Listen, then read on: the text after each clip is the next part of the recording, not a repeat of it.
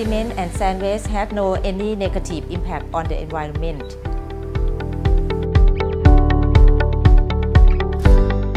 How to gain benefit or better way to dispose cement and sand waste.